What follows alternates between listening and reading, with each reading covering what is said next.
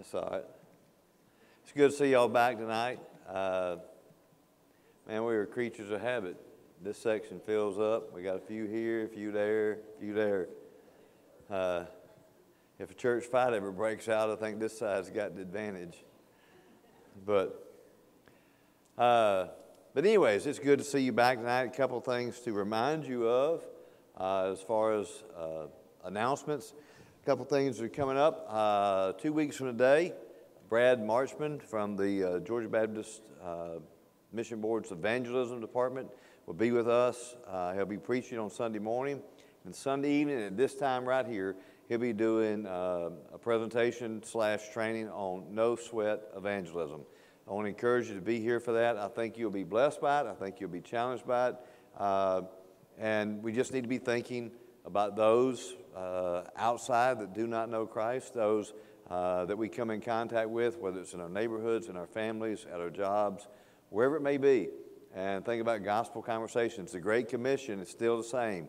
Uh, we're to go therefore and tell and make disciples.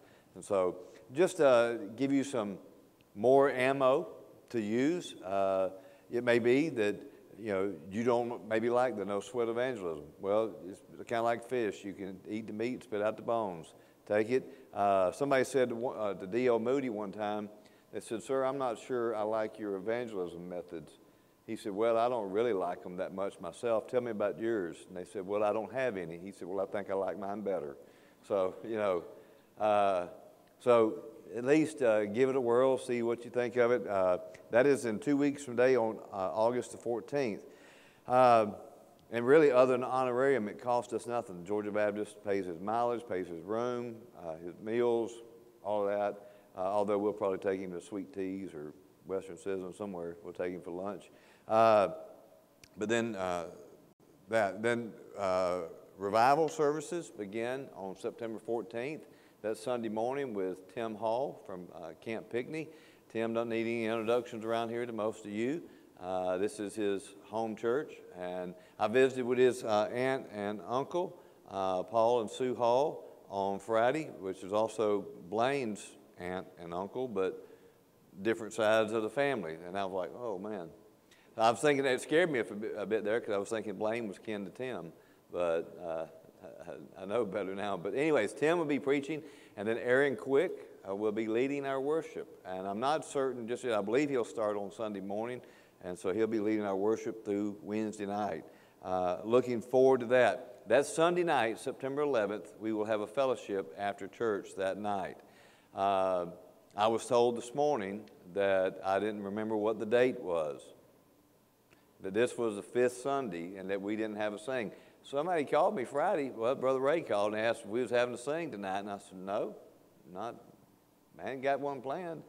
I didn't think anything about fifth Sunday, so uh, it's going to be a fifth Sunday preaching, is what it's going to be. Hey, there will be a fifth Sunday singing in just a couple of seconds, a couple of minutes. We will be doing that. But so I didn't think about that. But anyways, uh, that's going. Then on Sunday, October 9th, is homecoming. Now, what I've been told was that Sunday school that morning only. Sunday school will begin at 10:30. Worship will begin at 11:30. That gives people, uh, other churches that want to come, uh, to be a part of that. Uh, Brother is going to smoke at least one chicken. And I know who that one chicken's for. but we're going to have some more chickens than that. Suzanne, I need to talk to you about that too, uh, real quick. But, anyways, uh, huh? No, no. Um, I have a connection on some chicken though. But, anyways, uh, we will have plenty of food that day. Uh, we won't have any eating services that night. So that's uh, October 9th. Those are things that are coming up. Uh, I'm not aware of any other announcements, prayer list. I just uh, remember uh, Miss Susie and uh, Miss Laura's family. they laid their brother to rest yesterday, Horace Pete Thomas. So remember that family. Um, any other updates or prayer requests?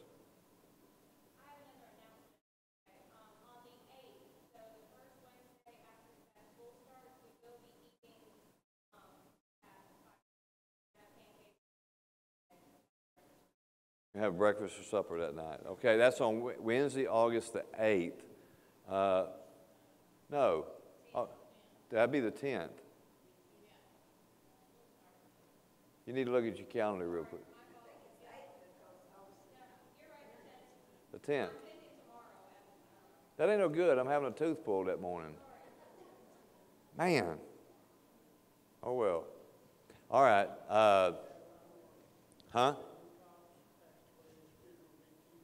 Who is that? Wiley Hickox?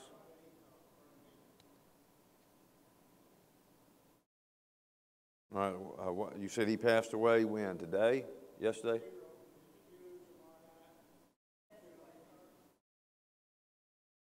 His funeral is when? Okay, when's the funeral? Tuesday, okay. In where? Oh, Fernandina, okay. All right, anything else? All right, well, let's go to the Lord in prayer, and then I'll turn it over to Brother Ray, and uh, we'll sing some songs and worship and get ready to look in Revelation. Father, thank you again for your love for us, which is immeasurable, which is eternal. And Father, um, help us to always be amazed by your love for us. Your word tells us that your mercies are new every day, that your grace abounds over sin. And Father, we need abounding grace. And we need those mercies that are new every day. Father, may we never think that we've arrived, that we've gotten to the point where we can just settle in and settle down in our walk with you. Lord, help us to continually uh, to press ahead. Uh, as the Apostle Paul said, that we press toward the mark of the prize of the upward call in Christ Jesus. Lord, help us to set our minds on you. And Father, may we be mindful that it's very easy to slip back. Lord, as we look forward to revival services, Lord, just because we have services and call them revival, that is no guarantee that revival will occur. We have to prepare our hearts, we have to prepare our minds to, to hear and to receive and to respond to what you would say to us. And Lord, may we not just wait for a series of meetings. Lord, revival can begin tonight, uh, tonight. It can begin in each of our lives the moment that we fully surrender to you. And Lord, I just ask that you would lead us in this time of worship tonight, that you would be pleased with our worship. And I ask this all in Jesus' name. Amen.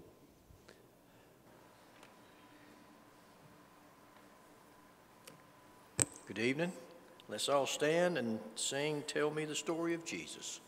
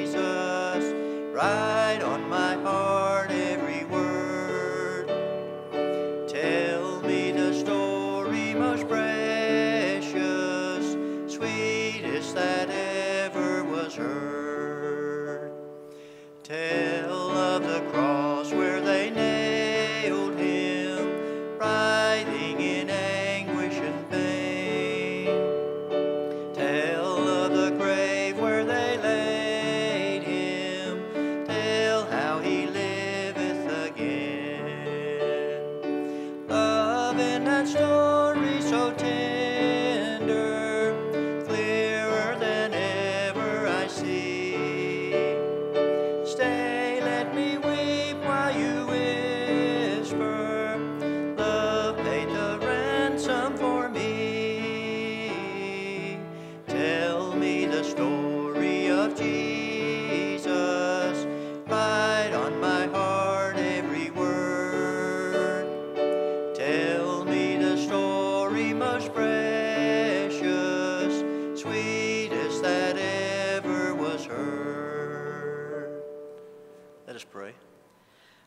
we thank you, Lord, for your blessings of life, Lord. We just thank you, God, for another opportunity, Lord, to be in your house tonight, Lord, to worship you, a true and a living God.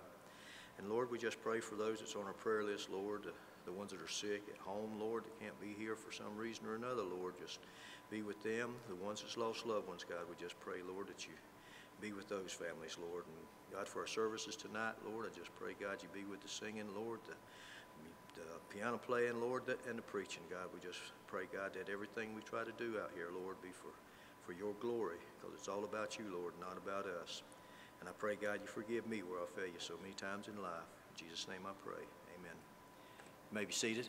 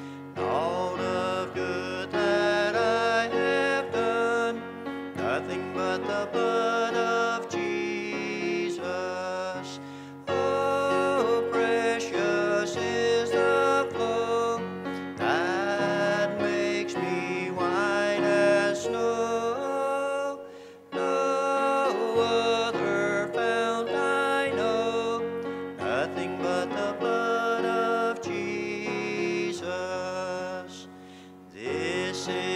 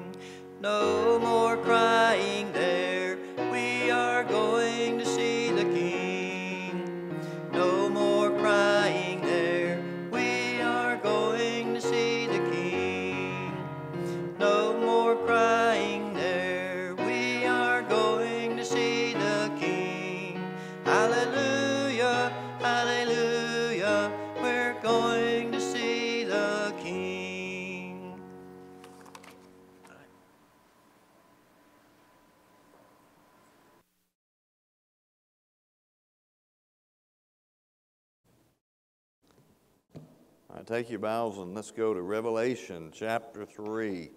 Revelation 3, we're going to look at verses uh, 1 through 6, the church at Sardis, as we look at these letters to the seven churches. And Jeremy, I'll throw that picture of the map. Not that it makes a whole lot of difference to you, but it just kind of gives you an idea to see. Um, it's what's known as in the area, the country we now call Turkey, is where these churches are located, seven historical churches. We've looked at Ephesus, Smyrna, Pergamum or Pergamus, Thyatira. Tonight we're at Sardis. Uh, only two churches receive commendation and no complaint, no criticism from Christ. That is Smyrna and Philadelphia. Next week we'll look at Philadelphia, and then three weeks from tonight we'll be at Laodicea. Uh, and so we will finish that up uh, because in two weeks, Brad Marchman will be here with us. If you're there in Revelation 3 and you're able to, ask that you stand for the reading of God's Word. We'll read uh, chapter 3, verses 1 through 6. And unto the angel of the church in Sardis write, These things saith he that hath the seven spirits of God and the seven stars. I know thy works, that thou hast a name that thou livest and art dead. Be watchful and strengthen the things which remain that are ready to die, for I have not found thy works perfect before God. Remember therefore how thou hast received and heard, and hold fast and repent. If therefore thou shalt not watch, I will come on thee as a thief, and thou shalt not know what hour I will come upon thee. Thou hast a few names even in Sardis which have not defiled their garments, and they shall walk with me in white, for they are worthy. He that overcometh, the same shall be clothed in white raiment, and I will not blot out his name out of the book of life, but I will confess his name before my Father and before his angels. He that hath an ear, let him hear what the Spirit saith unto the churches. Thank you. You may be seated. Let's go to the Lord in prayer. Father, we ask your blessings upon this time. We ask that you would uh, help us to understand, help us to grasp your word, what you're saying to us. And Father, I pray that we give attention and that, Lord, that we would seek to remedy anything that you reveal to us that we need work on in our lives, either as individuals or as a corporate body of Christ. And I ask this all in Jesus' name. Amen. Now, I've said this a couple of times as we were, we've been going through these letters to these seven historical churches. If Jesus were to write a letter to us, Pleasant Hill Baptist Church, what would he say? I don't know. I'm not Christ. But I want you just to think about that for a second as we've been looking at these churches.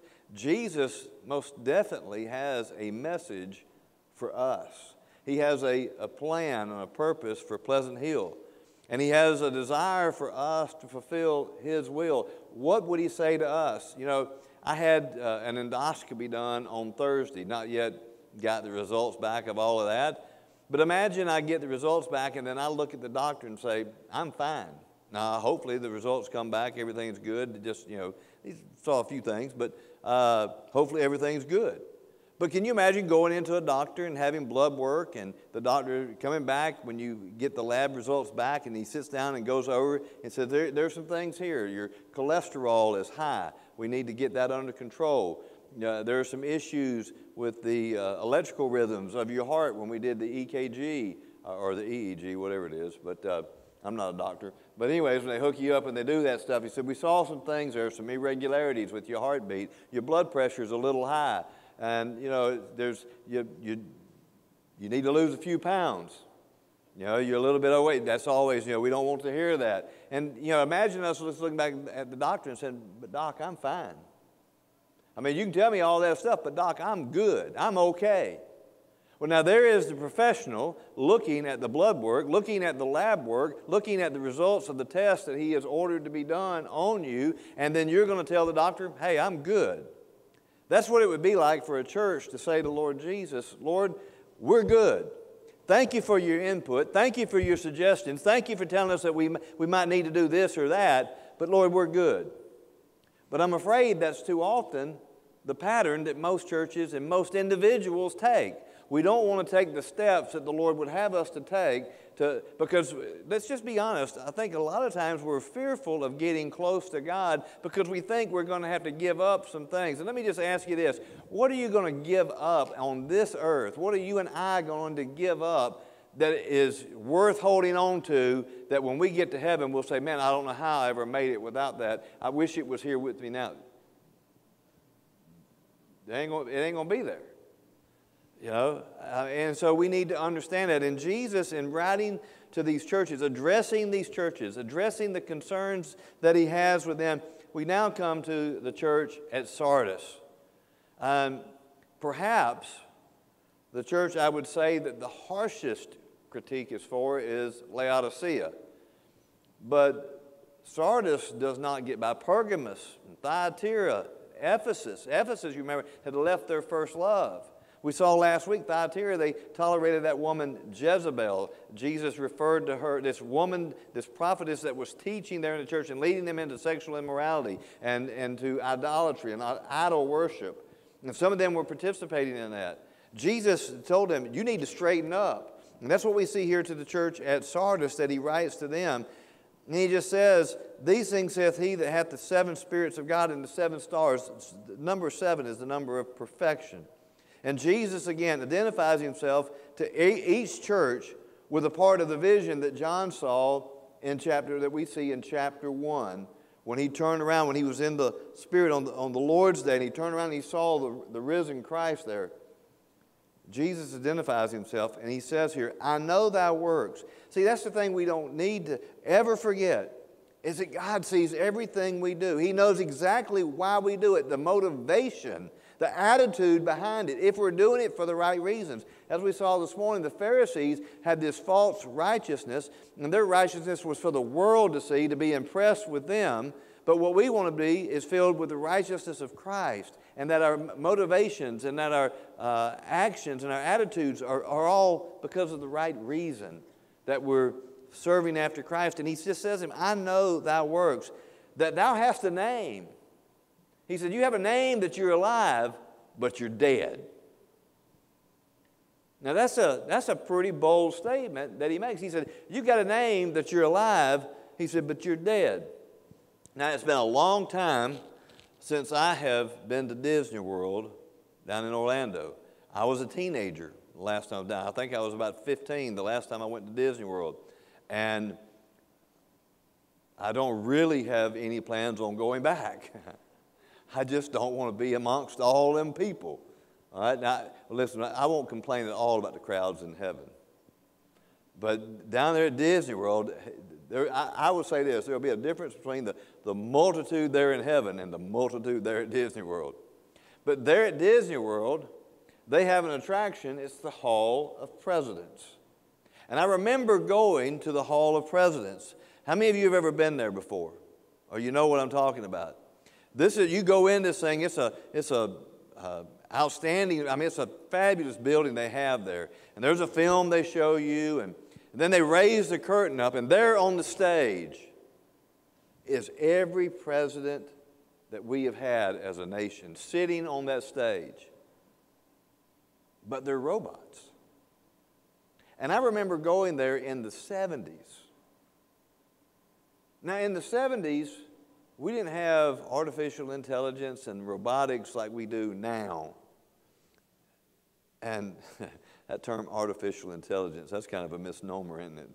But you know, you think about that. But I remember being amazed because you look at these presidents sitting up there. There's George Washington, and there's Abraham Lincoln, there's John F. Kennedy, and there are these others. And what's amazing is they're sitting up there and they're, they're moving. And, and Lincoln gives the Gettysburg Address, and you hear uh, George Washington speaking. And I, as I looked it up this afternoon to make sure they still had it, they said you even get to hear Joe Biden being sworn in.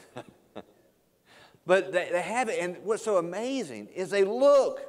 I mean, you look at it and you think, that's real people that's dressed up to look like these characters. Nah, it's robots. They're not alive, but they move. And what's so amazing is they're sitting there, and Blaine, if you were to lean over and whisper to, to Brandy, I mean, they, they do this. There's these two presidents that sit next to each other, and they're kind of having this conversation while somebody over here is speaking, and you hear one cough, and it's just, they look like they're alive, but they're dead. They can't pass Matter of fact, they can't submit any legislation, even to Disney World. They can't do anything because they're not alive. Jesus says here to the church at Sardis, you have a name that you're alive, but you're dead. Listen, folks, we look at this and we think, how can they how can they be dead? Because we look at what he says to them, that when he tells them this, he says this to shake them, to wake them because he says, Be watchful and strengthen the things which remain. He says, Be watchful. That, that, that phrase when he says be watchful, to be alert, to be on the lookout, pay attention. Our oldest granddaughter, Sydney, bless her heart, she's an airhead. I mean, just there's times you're like, girl, what are you thinking? You know, it's just going through life. You know, you just got that kind of little simple thing. And, and, and, and, and that's a, there's something to be said for that. But the, we have people like that today in the church that are just coasting on their Christianity. Oh, I got to say, you ask them about their salvation, and they got, they'll tell you about when they walked the aisle and when they filled out a three by five card, when they got baptized. You know, they'll tell you all these things. But what has the Lord done in your life lately? What is He doing in your life right now? What has He done since the moment you went through that baptismal pool? There should be growth occurring. Me and Jan were talking this afternoon. Next Saturday, we're going over to uh, Josh and Lindsay's. Uh, Sawyer turns two on Friday, and we're having a birthday party for him on Saturday. And we were talking about Silas, and it's hard to believe he's only just three months old. And he, he looks so big, and he's starting to look, and he's not even crawling yet. I mean, he ain't sitting up by himself yet. And you expect him to continue growing. Jesus says here, be watchful. He says, and strengthen the things which remain. There needs to be growth occurring in our life. There needs to be a steady pattern of growth in our spiritual walk with Christ. And if we're not growing, we run the real danger of becoming a spiritual pygmy, stunning our growth. And Jesus says to them, Be watchful, be alert, pay attention. He said, And strengthen the things which remain. And he just said, You have a name that you're alive, but you're dead. Now he says, Be watchful and strengthen the things which remain. Grab hold and hold on. Because you've got a few things there. there. There's some things there that you still have. He says, Hold on to them, don't let go. He, he tells them here, there's three things that Jesus tells them in these verses. One, he says to remember. Two, he says to retain. And three, he says to repent. See, there's a lot of preachers don't want to talk about repentance, but apart from repentance, there is no salvation. And see, repentance should be an active part of our life. Yes, our sins are covered by the blood of Christ. We are eternally secure. Uh, we have a home reserved in heaven, but we still need to confess and repent of sins in our daily life, in our daily walk. And not just when you lay down at night and say, Lord, if, I forget, if I've sinned any day, I ask you to forgive me. Now, you need to get, you need to get a little specificity about your confession. Because when you don't specify your sins, you kind of have the tendency to gloss over your sins. That's true for me. You got to name them. You want to talk about name it, claim it, this uh, health and wealth crowd, they got it wrong. What we didn't do, we need to return that, name it and claim it, name our sin, claim it, and repent of it. And the Lord will honor that. And He says to them, he says, strengthen the things which remain. that are ready to die. If the doctor, if I told you, you went into the doctor and he says, I've got some results here that are alarming, and your cholesterol is at such a level that if you don't do something right now, I mean the time you leave this office, you're going to have a stroke, and it's likely to be fatal. But there's some things you can do if you will do this right now, some steps you can take. And if you do not, you could die. Would that have your attention? That's what Jesus is saying to the church at Sardis. He said, Be watchful, be alert, pay attention, strengthen the things which remain that are ready to die, for I have not found thy works perfect before God. See, Paul tells us in Ephesians 4:30 that we're not to grieve the Holy Spirit. In 1 Thessalonians 5.19, he says there, do not quench the Spirit. You know, we're given this instruction. Is it possible that you and I can grieve the Holy Spirit? Absolutely. If it were not possible, he would not have said that to us. And how do we, how do we grieve him? Well, if you go back prior to Ephesians 4.30, if you go back uh, to verse 17, I just want to begin reading there. Just, just listen so you get the context. This is in Ephesians 4, verse 17. This I say, therefore, and testify in the Lord, that ye henceforth walk not as other Gentiles walk, in the vanity of their mind, having the understanding darkened, being alienated from the life of God through the ignorance that is in them because of the blindness of their heart, who being past feeling have given themselves over unto lasciviousness to work all uncleanness with greediness. That is a description of what we're experiencing in our culture today. People that are past feeling, they just if it feels good, do it. they're out there doing whatever.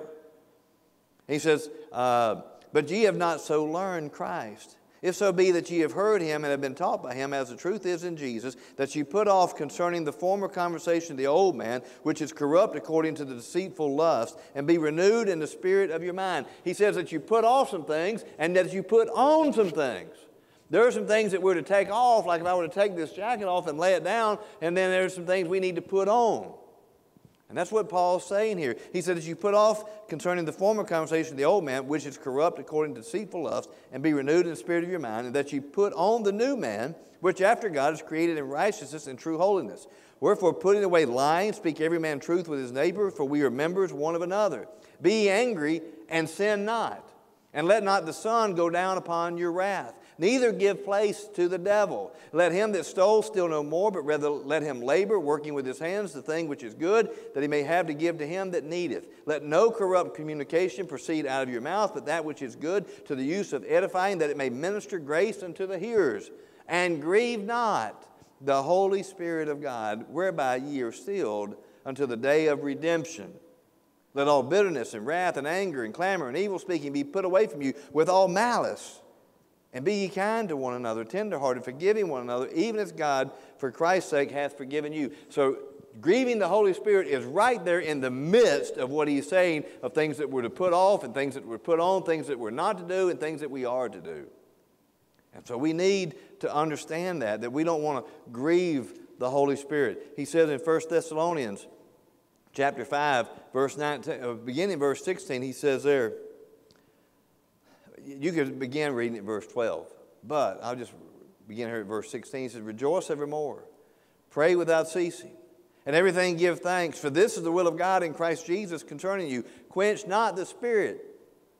Despise not prophesying. Prove all things. Hold fast that which is good. Abstain from all appearance of evil. So, right there in the middle of that, he says, Rejoice evermore, pray without ceasing, and everything give thanks. Not in some things, not when you feel like it, not when you want to. In everything give thanks, and that is difficult. I have a hard time with that. I was telling Teresa this morning, don't, don't, don't get all worked up. It's hard not to. When I went for my endoscopy the other day, now, when I had my colonoscopy last month, they checked my blood pressure. Said, your, your blood pressure's up, but you know, you don't have a lot of fluid left in you. Yeah, you think? Uh, just saying. And, but that, that elevates your, your blood pressure, and that's why they put you on IV to kind of rehydrate you and that kind of stuff. But I said, yeah, I'm little, you know, where you plan on putting that tube, yeah, that kind of has my blood pressure up. Endoscopy is a little bit easier, but still, It's hard not to get anxious. I don't like, I go to the dentist on August 10th. I mentioned got to have a tooth pulled, and then she's going to have sausage and pancakes that night. I think it was a conspiracy or something, but. Yeah, I, I get, you want to see me sweat? Let me go sit in the dental waiting room. I don't like going to the dentist. And I'll tell myself, Joe, you preach this stuff to others. You don't, what you worry, what you getting anxious about? What you get? But that's part of our nature, is it not? And there's a constant battle of surrendering to the Lord's will. And so when he says here to not quench the spirit, that's in the midst of praying without ceasing, rejoicing always, and everything giving thanks. It's right there. And so when, when he says this back here in Revelation, be watchful and strengthen the things which remain that are ready to die, for I have not found thy works perfect before God. He said, Don't be grieving, don't be quenching the spirit. Instead, he said, Remember, verse 3, remember therefore how thou hast received and heard. Do you remember? Now, see, if, if you were saved as a child, and there's a lot of people that, that accepted Christ as a child, and because they grew up and they didn't really live what, what you might call a depraved life. They didn't go out and just do all these kind of things and think, you know, I've just, I've always known the things of the Lord. I don't have much of a testimony. You got just as much of a testimony as a drunk that was saved off of Skid Row because you were just as lost as that drunk on Skid Row was. And you do have a testimony. But people are saying, oh man, I, you know, I, I, I don't know. And I, I don't really remember. You don't have to remember the date or uh, the date. It's not, we're not told in Scripture. You need to know that you know that you are a follower of Christ. And I will submit this to you, and it, even in the midst of who we have here tonight, it may be possible that your baptism is on the wrong side of your profession. You say, What? Yeah. You may have gone through a baptismal pool, but you weren't saved. And later you realized I was lost, but I, I need, now, I realized later, after that moment, is when I've truly accepted Christ. Well, baptism occurs after salvation, not before. And so, if that's you, if you're in that position and you realize I came to faith after I'd gone through a baptismal pool, then you need to be true baptism follows true salvation. I know that uh, because I experienced that myself. I was a lost church member, and I read, so was Jan. Jan experienced that same thing. There's a, and I'm not trying to cause you to doubt or worry or fret, those kind of things. I'm just saying, he says, remember, know that you know. And if you were saved as a child, that is awesome. But some people, I saw, uh, uh, where was uh, I don't remember if it was in the Christian Index or if it was an email I got. It was a guy in his 80s being baptized. That's just, I love it. You know what the, you know what the statistics tell you about that though? It is very, very minuscule the number of people in their 80s that come to faith in Christ. But it does happen because our God is a saving God. And until you've drawn your last breath, you have hope. And he says, Remember, therefore, how thou hast received and heard, and hold fast. Don't let go. Hold on to the solid rock. Christ is our anchor. And the anchor holds regardless of what Ray Boltz has decided in his life. I, I have trouble even listening to that anymore. If you don't know who Ray Boltz is or what I'm talking about, I'll be glad to, to share it. But I'm like, but that song, the, the anchor holds. I'm glad, I'm glad it's not about me holding on to him. I'm glad it's about him holding on to me. Because if it's about me holding on to him, I'd already be lost. Because I'd already let go. He says, Remember, therefore, how thou hast received and heard, and hold fast and repent. That word again, repent, just means to do a, a 180. To just do an about face. It's not to do a right face, a left face, it's to do an about face. And to turn from our sin. And so he tells this church at Sardis, You've got a name that you're alive, but you're dead. He said, But be watchful and strengthen. He said, Remember uh, what you received and heard, hold fast and repent. If therefore thou shalt not watch, I will come upon thee, uh, come, I will come on thee as a thief, and thou shalt not know what hour I will come upon thee. In Matthew 24, Jesus, in speaking to the disciples, they asked him what was going to be the sign of his coming, what, what was going, some things that were going to transpire. Well, he says here in Matthew 24, beginning in verse 36, and I want you to know something. There are many today that think nothing about the return of Christ. Whether you are pre, mid, or post tribulational, regardless of what your position is on when Jesus is coming back, he is coming back. Man, y'all are starting to get a little amen to you. We're going to work on that by the time Tim gets here at revival. He's going to think he done stepped into a holiness church. But he says here, be watchful, be looking, be prepared, be ready. That's what he's saying to the church at Sardis. And I believe he's still saying the same thing to us. And he says here in Matthew 24, verse 36, but of that day and hour knoweth no man, no, not the angels of heaven, but my Father only. But as the days of Noah were, so shall also the coming of the Son of Man be. For as in the days that were before the flood, they were eating and drinking, marrying and giving in marriage, until the day that Noah entered into the ark, and knew not until the flood came and took them all away, so shall also the coming of the Son of Man be. Then shall two be in the field, the one shall be taken and the other left. Two women shall be grinding at the mill, the one shall be taken and the other left. Watch therefore. Watch. Will you teach your children when, you, when they learn to cross the street? Look both ways. When they learn to drive, oh, Blaine, I, I hope I'm still around. When Leah and Ella and Landon and Adelaide starting to drive. Huh? No, well, I just want to see this. I mean, it's, I've, I've experienced it with Sid. She's 15, and but y'all have three at one time. Okay, pride goes before fall. uh, but seriously, I'll hear about that after church. But, anyways, you know, you tell them, look both ways. Look before you. He says here, Watch therefore, for you know not what hour your Lord doth come. But know this that if the goodman or the master of the house had known and would watch the thief would come, he would have watched and would not have suffered his house to be broken up. Therefore be ye also ready, for in such an hour as ye think not, the Son of Man may come. Who then is a faithful and wise servant whom his Lord hath made ruler over his household to give them meat in due season? Blessed is that servant whom his Lord, when he cometh, shall find so doing. Be ready. And Second Peter, uh, Peter says there, uh, that we need to be ready. We need to be watchful because there are those that, that mock who, who say, Where, Where's the sign of his coming? Where is it at? He says here in 2 Peter, beginning verse 3 Knowing this first, that there shall come in the last days scoffers, walking after their own lust. That's like the headlines off the news right now. He said, in saying, Where is the promise of his coming? For since the fathers fell asleep, all things continue as they were from the beginning of creation.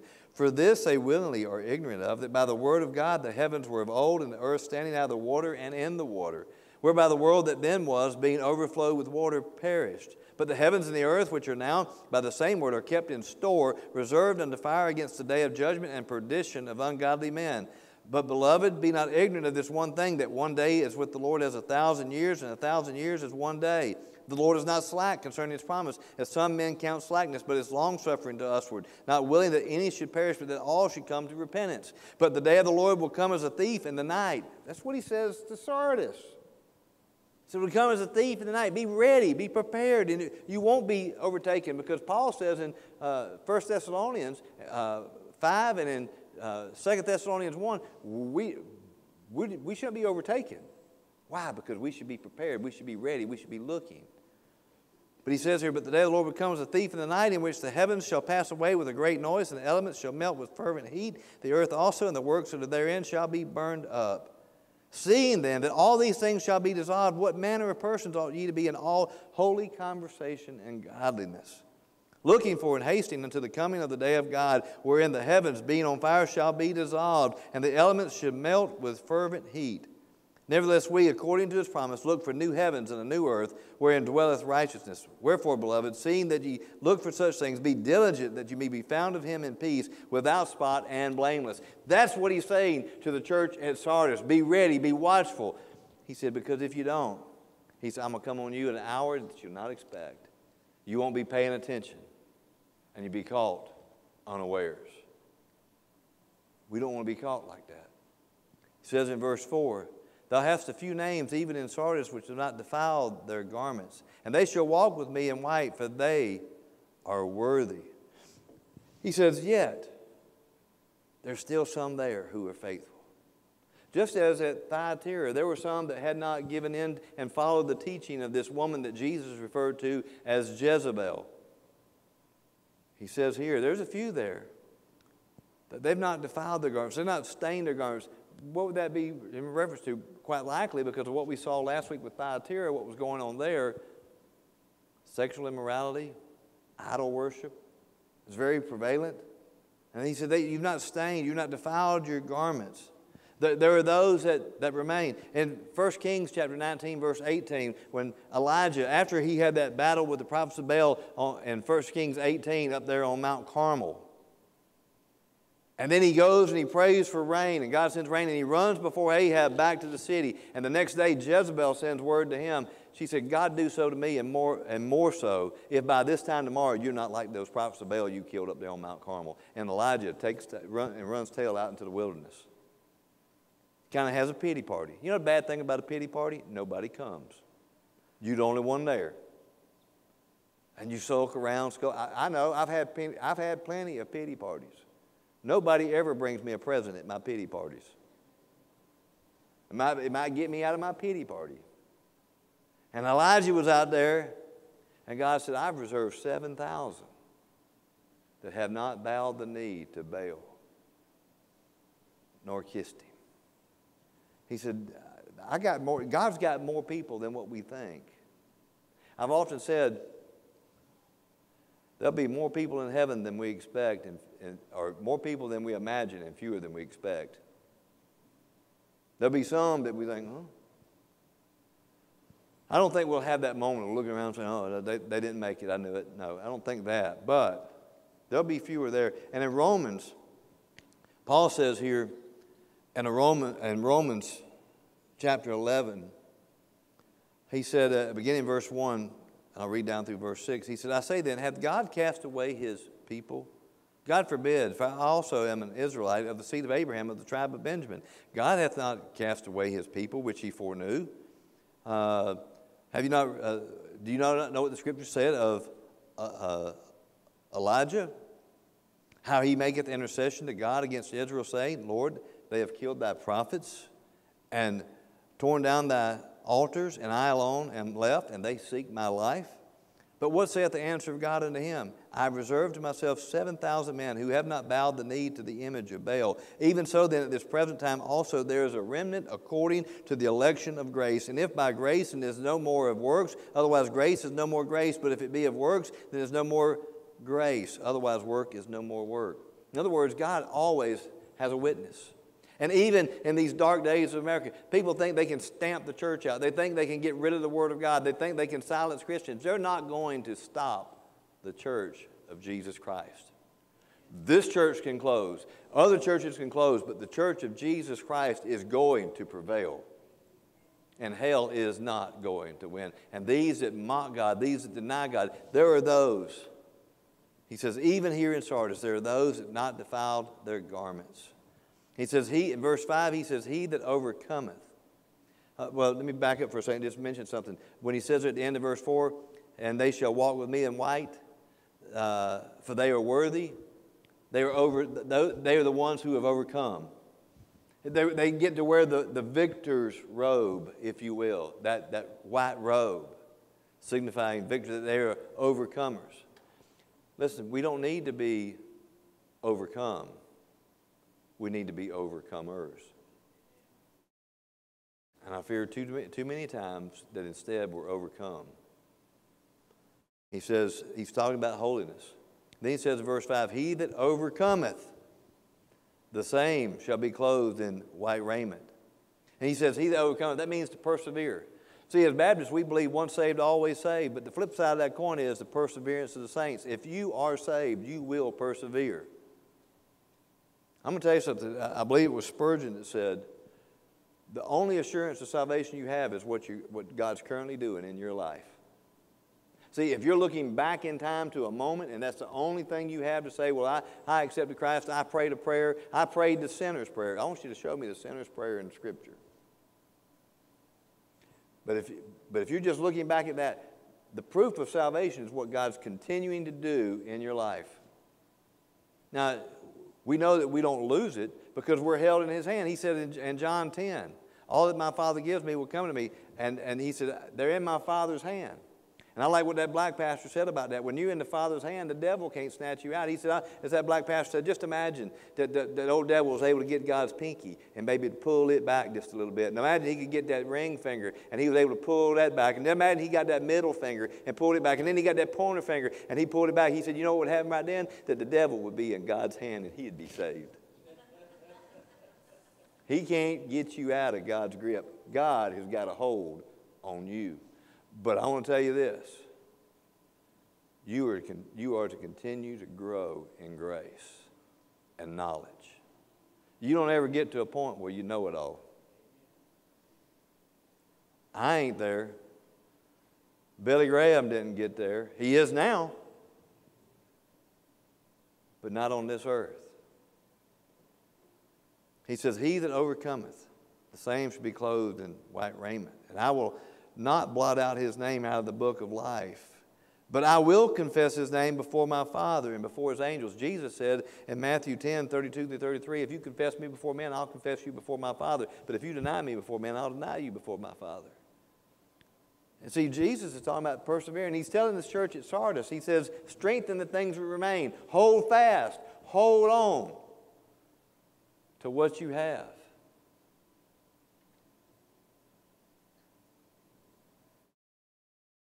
See, Joe over there needs a kidney transplant.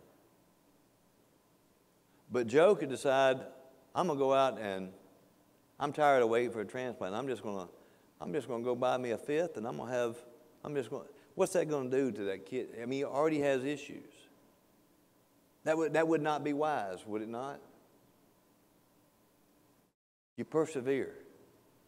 That kidney's coming sometime. I, hope, I pray that it's coming. It don't mean, and the great thing I like about the fact that he needs a kidney is that it doesn't mean somebody has to die for him to get it. It could, but a lot of times somebody that's got a good kidney can donate to him. He says here, persevere, hold fast, don't be ashamed. Don't be, a, be, don't be ashamed to stand upon the Word of God.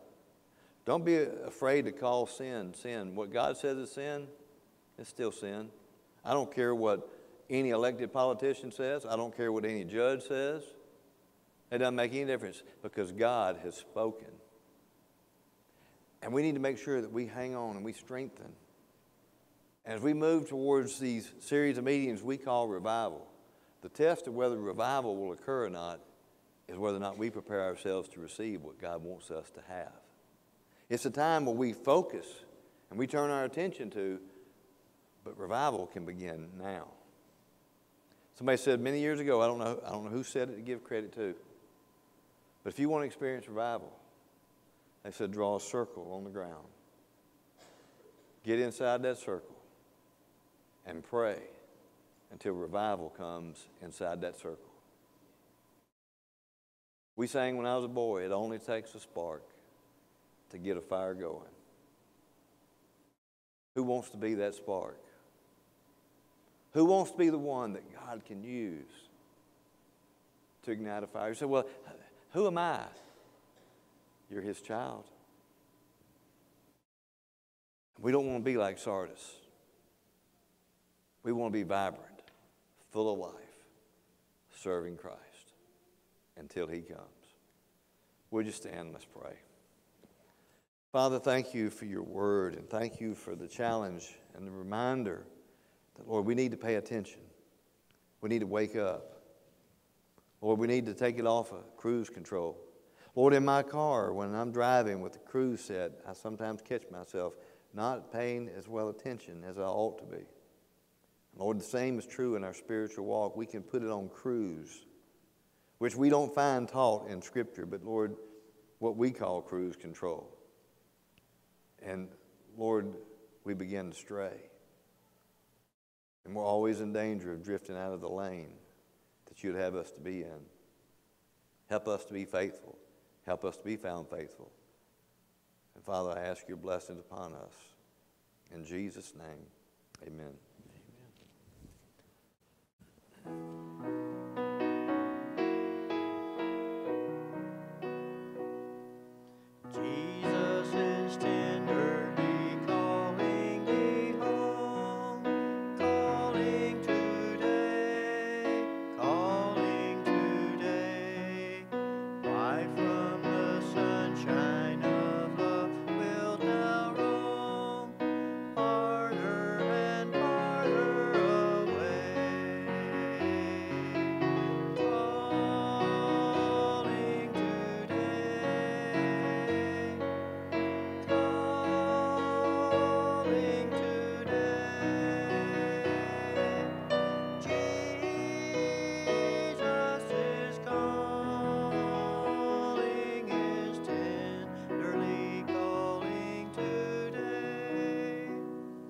right, look forward to seeing you Wednesday night. We will be in the book of Hosea and our study as we go through there. So look forward to seeing you Wednesday night. I, I'll tell you something. You ain't come on Wednesday night. You're not in here for that. I give you a handout, give you a cheat sheet, but I have more freedom. Seems like on Wednesday night. Oh, I just I want to encourage you to be back Wednesday night. We'll have youth, children activities, uh, and then the following Wednesday is when we will be having supper. Should have had it this Wednesday, but anyways. All right, it's been good to worship with you today.